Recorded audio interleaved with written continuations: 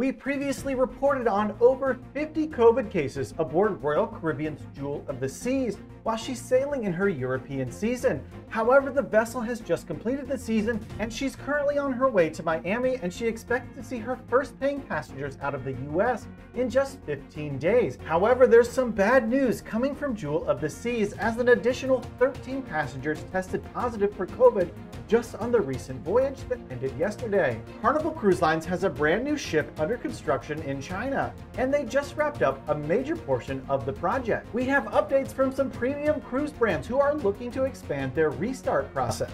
It appears that Carnival Cruise Lines has increased the capacity on board their ships, and Carnival Mardi Gras in particular has a staggering amount of guests on her most recent sailing. Plus, the Royal Caribbean Ultimate World Cruise is still on sale, but you're running out of time if you'd like like to snag a cabin aboard the Serenade of the Seas for her trip around the world. All this coming up on Midship.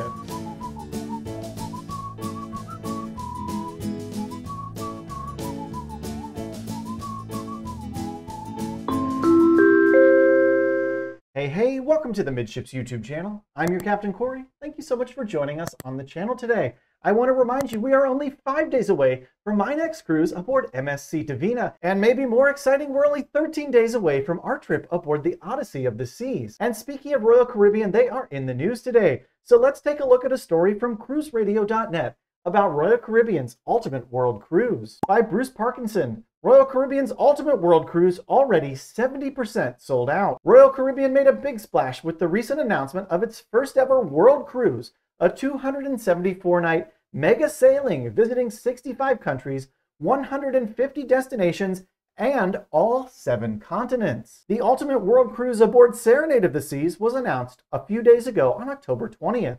The 2,476 passenger ship will sail round trip from Miami, departing December 10th, 2023, and she'll return on September 10th of 2024. That's two years away, and you might think Royal Caribbean figured it needed some lead time to sell a cruise with fares that start at $60,000 and can go up into the hundreds of thousands of dollars. But that's not what happened, as Royal Caribbean International President and CEO Michael Bailey excitedly explained during last week's quarterly results call. Michael said, I have to jump in. I have to jump in. We launched the World Cruise with Royal Caribbean 10 days ago, and we only made it available to 16 million loyalty members. And within the first seven days, we were already 70% booked up. The average price of a balcony room for the cruise is $75,000, and a royal suite on Serenade went for $760,000. Oh, and all the bookings include non refundable deposits. Michael Bailey went on to say,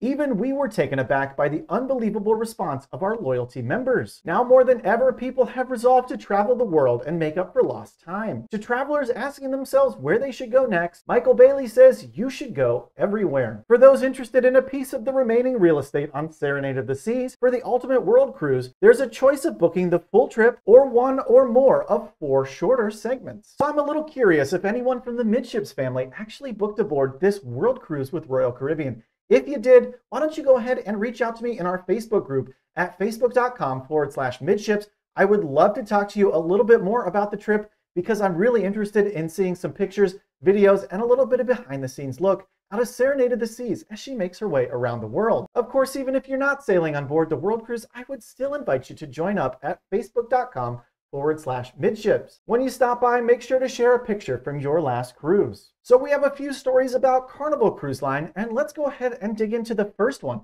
from cruiseradio.net about Carnival increasing capacity limits on board some of their ships. Carnival Cruise Line has started to notch up capacity limits by Sarah Bretz. Carnival Cruise Line has started to notch up their capacity limits as the cruise industry continues to make a strong comeback. Carnival's brand ambassador John Heald said on Facebook that Mardi Gras is currently sailing at 85% capacity. And to put that into perspective, the Carnival Mardi Gras has a guest capacity of nearly 5,300 individuals. So that means the most recent Carnival Mardi Gras sailing could have seen up to almost 4,500 passengers. When the line returned to sailing in July, it was at just 70% capacity and has slowly been increasing the numbers since then. Carnival says they're currently sailing near 99% vaccinated on board their cruises, with the exception of children who cannot yet get the vaccine. Well, and isn't that just a little bit of doublespeak for you here on a Tuesday afternoon? 99% of adults on the cruise ship for Carnival are fully vaccinated, not 99% of the total guests on board. Obviously, with children under the age of 14 not being fully vaccinated, we are definitely not looking at 99% fully vaccinated cruises. So let's keep talking about Carnival Cruise Line. They have a brand new ship currently being constructed over in China, and I'd like to give you a quick look at a major milestone on that project. From cruiseindustrynews.com, Superstructure for Carnival's China cruise ship new build is done. Shanghai Waigaoqiao Shipbuilding Yard has completed hull work and the superstructure on its first cruise ship new build for Carnival Corporation's joint venture cruise brand in China, Carnival China, which is set to begin sailing in 2023. The ship will now enter the internal outfitting and interior completion stages. According to a statement, the ship is being built in partnership with Fincantieri on Carnival's Vista class platform and is expected to be followed by a sister ship in 2024. So there's just something really cool to me about watching these floating cities just come together piece by piece. I absolutely love looking at the progress being made on these ships as they're built along. And darn it, since we're still talking about Carnival, let's go ahead and look at their two additional ships that are undergoing dry docks. From cruisehive.com by Emrys Thakkar, two more Carnival ships undergo dry dock. And look at that rusty ship. Carnival Cruise Line isn't just well underway in restarting operations, but also well underway with ship dry docks. Eight vessels have already received the new red, white, and blue livery, and another two are on the way. Carnival Sunshine and Carnival Spirit are currently receiving the upgrade. And we're only going to talk about the Carnival Sunshine today because she's the one that's going to be operating out of the US market. Carnival Sunshine is one of the latest ships in the fleet to enter dry dock in a busy year of ship updates, the vessel follows Carnival Paradise, which just finished her upgrade at the shipyard in Cadiz, Spain. And if you'd like to learn more about Carnival Paradise's dry docks, you can check out our video that we made yesterday. I'll go ahead and link it down below this video. While you're down there, I'd urge you to check out some of the links in our description box, especially some of the Amazon affiliate links to some totally awesome cruise swag that I would recommend you check out for your next cruise. Oh, and even if you just click the link, it does help the channel just a little bit. Thank you so much. The Sunshine class vessel entered dry dock in Cadiz, Spain on October 21st and is receiving the new livery, which has already rolled out to eight other ships in the Carnival brand along with the brand new Mardi Gras. In addition to the livery, Sunshine is receiving some routine hotel maintenance along with some minor enhancements. Often when it comes to refurbishments like this, there will be new carpets, tiling, and some other changes in specific departments around the ship. It's the 10th dry dock the vessel is going through, including when the ship was named Carnival Destiny before her transformation back in 2013. Carnival Sunshine will be ready to welcome guests back on board starting January 13th when she restarts for the first time since March of 2020 out of Charleston, South Carolina. So congratulations to Carnival Cruise Line on continuing this fantastic process of getting all your vessels updated to that new hull livery. I can't wait to see each and every one of them in person someday soon. Now, we talk a lot about the Carnivals and the Royal Caribbeans of the world on this channel, but we can't forget that there are premium cruise brands out there,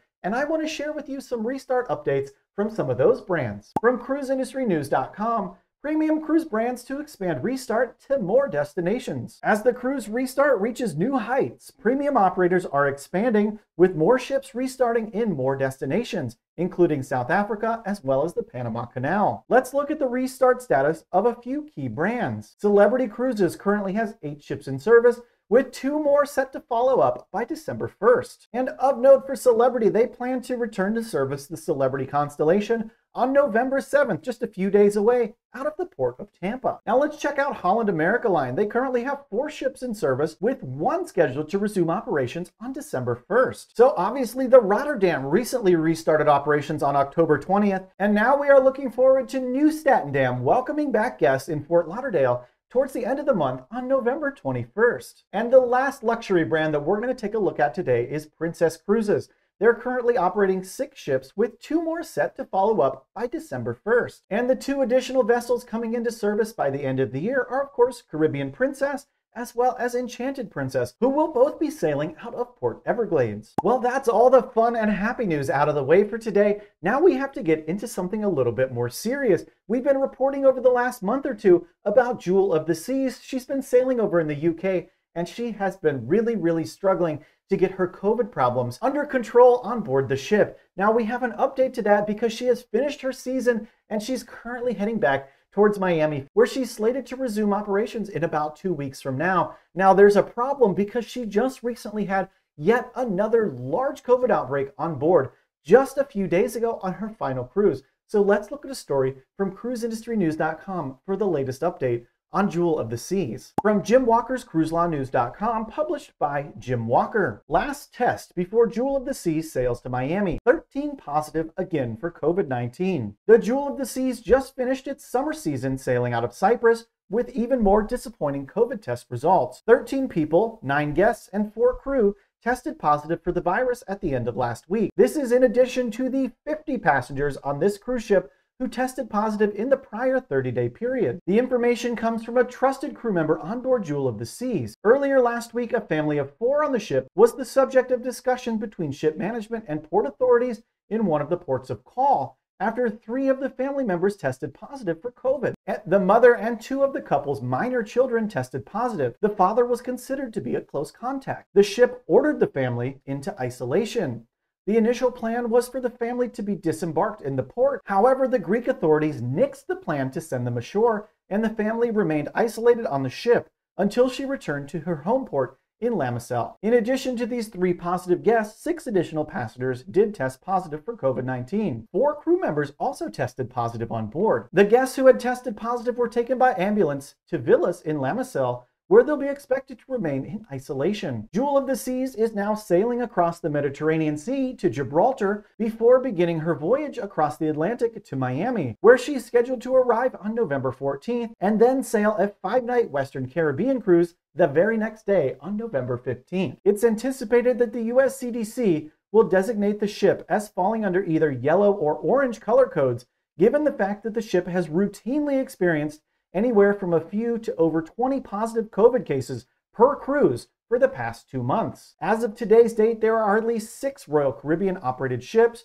Allure of the Seas, Independence, Liberty, Mariner, Serenade, and Symphony of the Seas, which the CDC is either monitoring or investigating COVID 19 outbreaks on board. So, like I said, we will continue to monitor what's going on on board Jewel of the Seas. For some reason, they are just really struggling to get this under control. Obviously, 13 cases is way too many on board a cruise ship, especially given the fact that Royal Caribbean CEO Michael Bailey was recently quoted as saying they typically see between one and three COVID cases on board any given sailing for Royal Caribbean. So I'd love to hear your thoughts about the Jewel of the Sea story go ahead and comment below. I do my best to read and respond to all the comments on my videos. While you're down there leaving a comment, make sure you're subscribed to the channel. I know that about 80% of you who watch have not yet subscribed. Why don't you go ahead and try taking us for a quick test drive? If it's not for you after a few days or a few weeks, you can always unsubscribe. It won't hurt my feelings too, too much. In addition, the most important thing you can do for the channel is always give a thumbs up on our videos. It tells YouTube not only that you love cruising, but you think this video should be shared with other people